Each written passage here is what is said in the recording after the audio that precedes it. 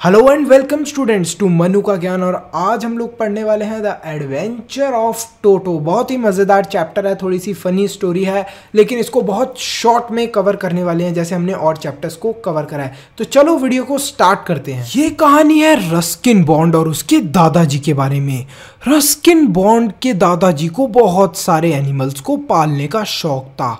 Different different varieties के बहुत सारे एनिमल्स उनके घर में यूँ ही रहते थे। जैसे कि उनके घर में एक प्राइवेट जू ही खोल रखा था उन्होंने। लेकिन जो दादी थी, जो उनकी वाइफ थी, उनको ये हरकत उनकी बिल्कुल पसंद नहीं आती थी। उनको एनिमल्स से इतना प्यार नहीं था जितना दादाजी को था। एक दिन की बात है, दादाजी को एक टांगे वाला दिखता है। जिसके पास एक बहुत क्यूट सा, प्यारा सा, छोटू सा बंदर होता है। वो जब उस बंदर को देखते हैं तो उनका मन में लालच आने लग जाता है कि क्यों ना मैं इस बंदर को ले लूँ? ये बंदर इस तांगे वाले के पास कर क्या रहा है आखिर? काश ये बंदर मेरे भी जू के अंदर आ जाए और मैं इसको अपने एक पर्सनल कलेक्शन के अंदर रख सकूँगा। तो वो उस तांगे वाले के पास जाते हैं और पूछते हैं, अरे भाई कहाँ से आया तुम्हारे पास ये बंदर? कितने का दोगे भाई? तो वो बोलता है, बाबूजी, ये बंदर तो हमें मिल गया था। आप बताइए, आप हमें इस बंदर के कुछ नहीं, पाँच रुपए दे दीजिएगा। ठीक है भाई, ये लो पाँच रुपए और ये बंदर हमारे हवाले कर दो। ठीक है बाबूजी, ले लीजिए इस बंदर को।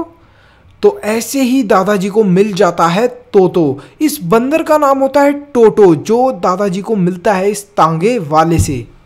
टोटो की आइज़ बहुत वाइट थी और जो उसके दांत थे वो मोतियों की तरह चमकते थे, इतने वाइट थे। लेकिन जो उसकी पूछ थी, वो सबसे कमाल बात थी उसकी बॉडी के अंदर।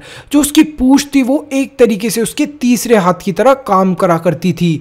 वो कभी कभी पेड़ों की टहनियों पे अपनी पूछ से उल्टा लटक जाया करता था। अब दादाजी ने टोटो को ले तो लिया था, लेकिन सबसे बड़ी प्रॉब्लम दादाजी के दिमाग में चल रही थी। अरे, अब ये मैं कैसे बताऊँगा? दादी जी को कैसे बताऊँगा अपनी पत्नी को? कि मैंने एक और बंदर ख़रीद लिया, एक और एनिमल ले लिया। वो तो पहले से ही इतना एनिमल्स को नफ़रत करती है। यही चीज़ दादाजी के दिमाग में बार बार चल रही थी। दादी को एनिमल्स बिल्कुल भी पसंद नहीं थे और उन्होंने एक और एनिमल ले लिया था। तो वो सोचते हैं कि वो टोटो के बारे में दादी को नहीं बताने वाले।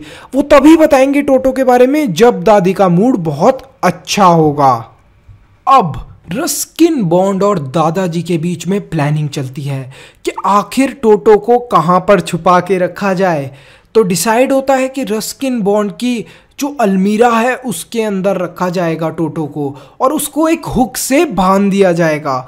जैसे ही वो टोटो को रस्किन बॉन्ड की अलमीरा के अंदर हुक से बाँध कर चले जाते हैं टोटो थोड़ी देर में उससे बाहर निकलता है। रस्किन बॉन्ड के सारे कपड़े फाड़ देता है और दीवारों पर भी खरोचों के निशान बना देता है। जैसे ही दादाजी और रस्किन बॉन्ड वापस अपने रूम के अंदर रस्किन बॉन्ड के रूम के अंदर लौटते हैं उन्हें टोटो दिखता है शैतानी करते हुए। ये चीज़ देखकर रस्किन बॉन्ड टेंशन में हो जाते हैं। अरे अगर अगर दा, दादी को पता चल गया तो अब क्या होगा? दादी तो बहुत गुस्सा करने वाली हैं। दादाजी मन ही मन खुश हो रहे होते हैं और बोलते हैं कि देखो अच्छा हुआ, हम लोग सही टाइम पर आ गए बेटा। नहीं तो ये रस्सी बनाकर बाहर निकल जाता खिड़की से, कपड़ों की रस्सी बनाकर। तो ये चीज़ सुनकर रस्किन बॉन्ड ये सोचने लग जाता है कि ये तो बंदर है, ये तो क्लाइंब करके भी जा सकता था। दादाजी भी ना कैसी बातें करते हैं दादाजी? और ये सारे इंसिडेंट होने के बाद दादाजी को जाना होता है एक दिन सारंगपुर। देहरादून से सारंगपुर दादाजी को जाना होता है अपनी पेंशन कलेक्ट करने के लिए। वो ट्रेन के अंदर बड़े मज़े से ट्रैवल कर रहे होते हैं। लेकिन यहाँ पर कहानी में एक ट्विस्ट है। दादाजी के साथ कौन ट्रैवल कर रहा होता है? दादाजी के साथ उनके बैग में होता है टोटो और उनकी जेब में होता है एक टोटोइस और टोटो बड़े ही मज़े से बैग के अंदर हिल डुल रहा होता है और जितने भी ट्रेन के अंदर लोग होते हैं, वो देखकर सरप्राइज़ हो जाते हैं कि आखिर ये बैग ऐसे हिल क्यों रहा है। जैसे तैसे कर कर वो सारंगपुर पहुँचते हैं, वहीं पर स्टेशन मास्टर पहुँच जाते हैं और दादाजी को अपनी टिकट दिखाने के लिए बोलते हैं। दादाजी अपनी टिकट तो दिखा देते हैं, लेकिन तभी बैग से निकल जाता है टोटो। टोटो अपनी गर्दन दिखाकर हंसने लग जाता है।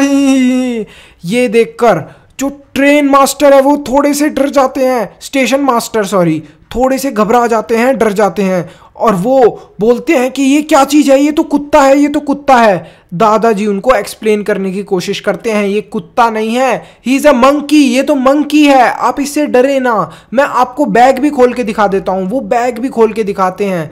लेकिन जो स्टेशन मास्टर होता है, वो बोलता है, नहीं नहीं, ये तो कुत्ता है, इसकी पूरी टिकट लगेगी, आपको दो रुपए देने पड़ेंगे इसकी पूरी टिकट सोचो, पहले कितनी सस्ती हुआ करती थी टिकटें, अब तो कितनी महँगी हो गई हैं। दादाजी फिर उसे दो रुपए दे देते हैं, और गुस्से में आकर अपनी जेब से टोटोइस भी निकालते हैं और बोलते हैं, क्या इसकी भी टिकट लगेगी, सर? तो वो बोलता है कि, नहीं नहीं, इसकी कोई टिकट नहीं लगेगी, लेकिन इस कुत्ते की टिकट लगेगी। वो टोटो को कुत्ता समझ रहे थे, स्टेशन मास्टर। ये बड़ा फनी इंसिडेंट होता है दादाजी के साथ। जैसे तैसे कर कर वो वापस आ जाते हैं।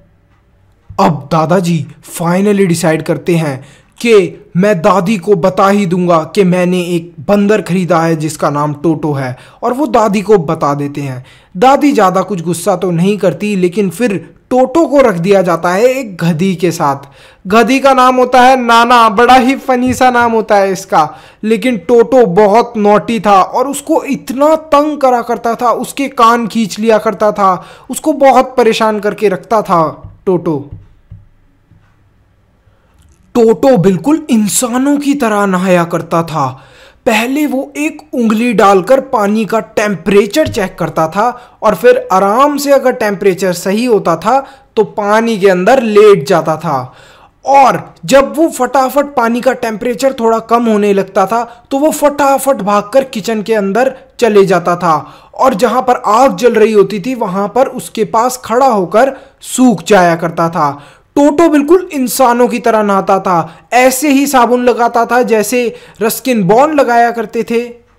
और बिल्कुल ऐसे ही रेडी हुआ करता था जैसे रस्किन बॉन्ड रेडी हुआ करते थे। एक दिन की बात है, किचन में पानी गर्म हो रहा था। टोटो महाशय घूमते घूमते वहाँ पर पहुँचे। उन्होंने पानी के अंदर उंगली डालकर देखी तो उन्हें लगा, परफेक्ट टेम्परेचर! और वो उस पानी के अंदर जाकर लेट गए। जब वो उस पानी के अंदर जाकर लेटे तो उन्हें बड़ा मज़ा आने लगा।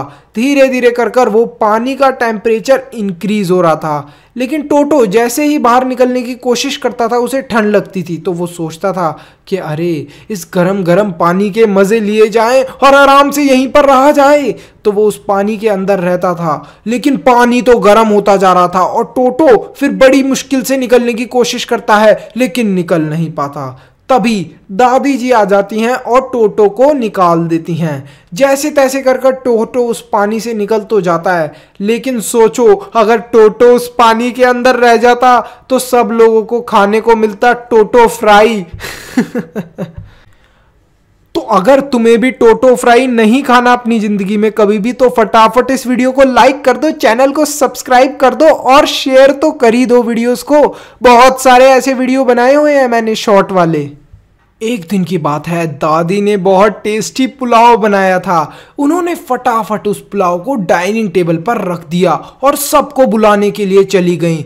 तभी टोटो आता है साइड से और बैठकर टेबल पे खाने लग जाता है पुलाव अपने हाथों से। दादी ये देख लेती हैं। जब वो आ रही होती हैं वापस, वो गुस्से में उसकी तरफ़ भागती हैं तो वो उनकी तरफ़ प्लेट फेंक देता है। फिर एक आंटी जी उसकी तरफ़ भागती है तो उनके ऊपर पानी फेंक देता है वो और वो पुलाव का बर्तन लेकर बाहर पेड़ की टहनी पर बैठ जाता है और बड़े मज़े से उन्हें चिढ़ाकर खाता है। Pulao tasty tasty, yummy yummy और फटाफट पुलाव खाकर जब वो देखता है कि पुलाव खत्म हो गया बर्तन के अंदर तो गुस्से में आ जाता है टोटो। अरे, ये क्या हुआ? मेरा टेस्टी पुलाव खत्म हो गया। ये लो तुम अपने बर्तन। और वो गुस्से में आकर बर्तन को ऊपर से फेंक देता है। वो बर्तन भी टूट जाता है। ये रोज की ही बात थी टोटो की। टोटो कभी कपड़े फाड़ देता था, कभी बर्तन तोड़ दिया करता था।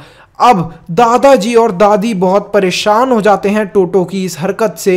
तो वो तांगे वाले को वापस आता देखकर उसको बोलते हैं, अरे भैया अरे भैया प्लीज़ तुम अपने बंदर को वापस ले लो और तुम क्या रकम दोगे हमें अपने बंदर की? अरे सर, मैं तो गरीब आदमी हूँ। आप तीन रुपए तीन रुपए में बेच दीजिए मुझे वापस टोटो को। तो जैसे तैसे कर कर तांगे वाला तीन रुपये में वापस ले लेता है टोटो को। और अब यहीं पर ख़त्म होती है स्टोरी अब वो वापस टोटो को इसलिए दे देते हैं क्योंकि टोटो काफ़ी एक्सपेंसिव पड़ रहा था उन्हें as compare to other animals के पालने को। टोटो बर्तन तोड़ दिया करता था, कपड़े खराब कर दिया करता था और कुछ ना कुछ पंगे लेता ही रहता था वो सबसे। तो टोटो बड़ा ही मतलब नोटी एनिमल था और ये स्टोरी यहीं पर खत्म होती है। बहुत शॉर्ट में मैंने इसको बना दिया है। लाइक सब्सक्राइब और शेयर करना ना भूले और भी ऐसे स्टोरीज देखते रहे। मैं अपने चैनल पे डालता रहता हूँ। So thanks for watching see in the next one